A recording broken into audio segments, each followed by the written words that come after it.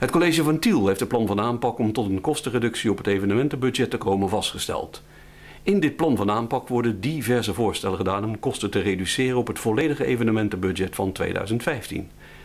Het gaat dan om ambtelijke uren en facilitaire kosten.